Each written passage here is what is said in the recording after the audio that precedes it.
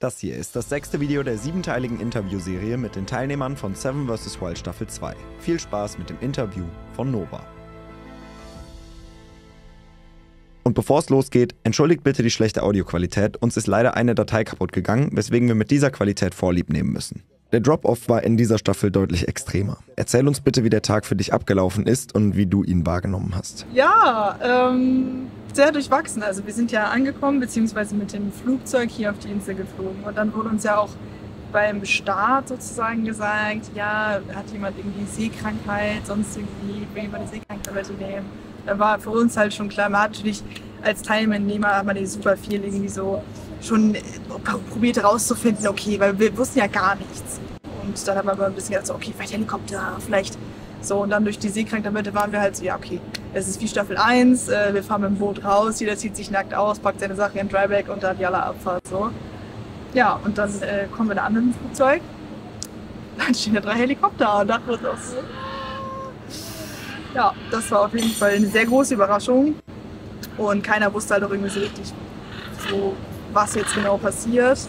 Und dann wurden wir eingeteilt, sind hochgeflogen und ab da war man irgendwie einfach voll in dem Film drin. Also da bist man ist über die ganze Insel geflogen, unter einem so diese komplette grüne Hölle. So, das war, das war richtig krass. Und dann diese, also das Adrenalin, ich meine, wirklich mein Herz ging auch so richtig klopfend, als es dann hieß, ja, okay, Nova, spring jetzt raus. Das war echt richtig krass. Und besonders, wir hatten ja unsere kompletten Klamotten an. Also ich hatte Handschuhe an, meine Wanderstiefel, so, ich war komplett bekleidet. Ich hatte noch meine Regenjacke unterm Arm und meinen Hut. So, und der anderen hat noch eine GoPro, so für die schönen Aufnahmen dann auch noch. Und ja, bin da halt reingesprungen. Halt, also ich wusste halt gar nicht, was mich erwartet. Ich habe auch das eingeschätzt, dass ich so ganz andere Probleme haben werde vor Ort. Also beispielsweise Wassergewinnung, da habe ich mir übelst den Kopf drüber gemacht und so ja, eventuell Salzwasser destillieren, Plastikflaschen sammeln, sonst irgendwie was. So Kokosnusswasser. Ich hatte mein, äh, mein Wasserfilter ja auch dabei. Ja, und das war gar kein Problem. Also das, ich hatte glücklicherweise eine Süßwasserquelle, aber es war super spannend, weil einfach manche Probleme waren, über die man sich gar nicht Gedanken gemacht hat und dann andere Probleme, die man als so fast schon gelöst irgendwie erachtet, so die waren halt richtiger Struggle. So, also es war was wäre ein Beispiel für so ein Problem oder was war dein größtes Problem in den Tagen? Also für mich persönlich das größte Problem Isolation 100 Prozent. Also das hätte ich nie so erwartet, dass ein das so sehr mitnimmt und dass ein das so, also mich besonders als Mensch, was jetzt vielleicht, wenn ich das so rückwirkend betrachte, auch vielleicht Sinn ergibt. Ich bin ein sehr sozialer Mensch, so ich meine, ich mache Streamerin, so, also ich so, wenn man mir halt diese Komponente nimmt und auch so, ich bin ein super familiärer Mensch, also mir ist meine Familie richtig wichtig, so ich habe mit denen jeden Tag Kontakt und auch meine Freunde, meine Liebsten, so das sind alles Menschen, mit denen ich immer irgendwie im Austausch bin. Und das ist so ein Beispiel dessen, dass ich nicht erwartet hätte, dass vier Tage ohne menschlicher Kontakt, dass mich das so an mein Limit bringt, dass ich wirklich, also dass es nicht mehr ging, dass es wirklich so schlimm war, dass ich so wirklich Panikattacken bekommen habe und das hätte ich nicht. Ich hätte mit so vielen anderen Dingen gerechnet, mit Krokodilen, Schlangen, Spinnen, sonst irgendwie was, aber das ist dann am Endeffekt einfach leider was ein banaler Fakt ist, dass ich mit Isolation, dass mir das viel zu viel war, hätte ich auch nicht gedacht. So muss man halt erstmal erfahren und das dann so als, ja, Du hast gerade eben schon angedeutet, verrückte Dinge gefunden zu haben. Was war so das Verrückteste, was du gefunden hast? Ähm, ja, das war, ich weiß nicht, also es war auf jeden Fall ein Säugetierknochen, der noch Fleisch oben dran hatte und der Knochen unten so rausgeguckt hat und der Knochen war schon so richtig wabbelig, weil er schon so lange im Meer war und es war so ziemlich widerlich, weil ich mir nicht gedacht habe, so, es, es war auch ein echt großer Durchmesser, also es muss, ich weiß nicht, was das gewesen ist, also es muss irgendein großes Säugetier sein, was da anscheinend irgendwie von irgendeinem Meeresbewohner vergenussferkelt wurde. Also es war schon teilweise echt sehr widerlich. Ich habe Flipflops in allen Crocs, auch ultra viel gefunden, in allen möglichen Sorten. Autositze, ähm, Drucker. Ich habe einen Drucker gefunden, halt in Einzelteilen, wo ich dann einen Teil auf der rechten Seite oder einen Teil auf der linken Seite gefunden habe. Also wirklich ganz verrückt. Auch teilweise so ähm, aus so Schaumstoff so Zeichnungen, die Kinder in der Grundschule machen. Das war dann irgendwie so ein spanischer Name, ich weiß nicht mehr genau, ich kann es nicht genau lesen, weil ein bisschen was abgeblättert war.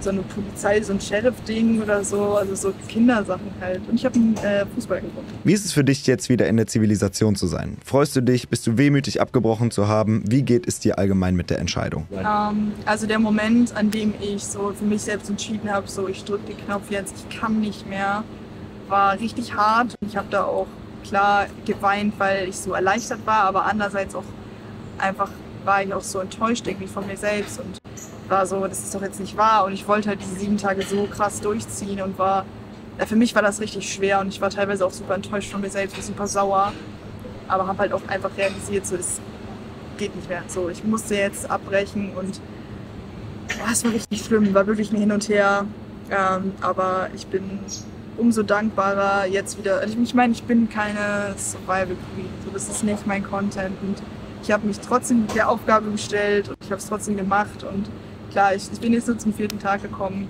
aber ähm, ich glaube, dafür muss ich mich jetzt selber nicht irgendwie strafen oder da jetzt irgendwie äh, sauer auf mich sein. So, ich habe es versucht so und da halt jeder hat auch andere Grenzen, so da war meine ähm, und genau, ich bin so dankbar, wieder in der Zivilisation zu sein. Ich, ich schätze auch teilweise Sachen irgendwie wert, die einfach eine Normalität sind, so eine Dusche.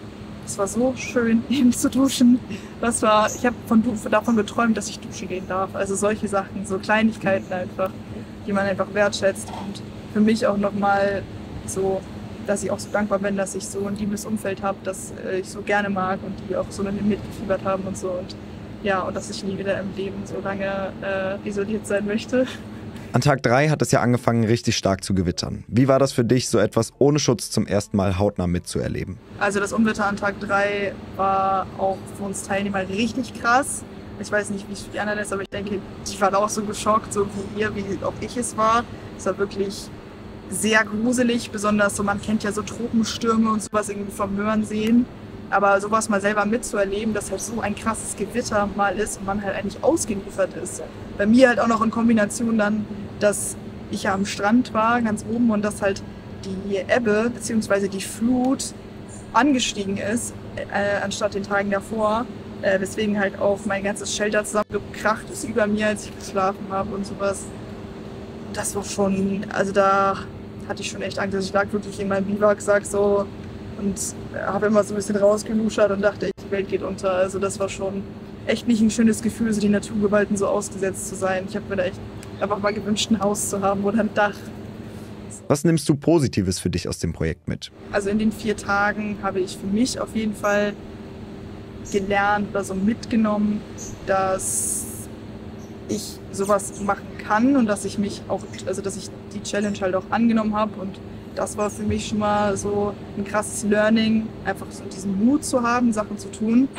Und halt auch, auch der Grund, wie gesagt, meines Ausstiegs, dass ich halt ein unendlich sozialer Mensch bin und dass ich das einfach für mein Leben auch einfach brauche und dass, wenn mir das fehlt, dass äh, ich so nicht existieren kann. Und ich möchte nie wieder in meinem Leben äh, vier Tage isoliert sein. Das habe ich auch mitgenommen. Aber es war eine schöne Erfahrung. Ich bin über mich rausgewachsen und auch wenn für andere die Grenze woanders liegt, lag da meine und äh, ich habe sie halt trotzdem äh, ja, bis dahin ausgereizt und ich glaube, das ist.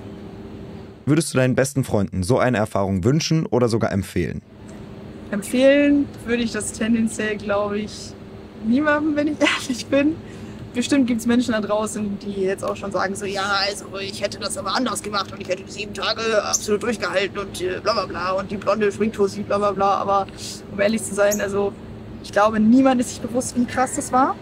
Und auch wenn man so die erste Staffel geschaut hat und das jetzt so von außen mitbekommt, da wirklich vor Ort zu sein. Und man sieht ja auch selbst in der Ausstrahlung dann immer nur kurze Momente, aber vier, also bei mir, vier Tage komplett Du sitzt da, mein Entertainment war ein Hai.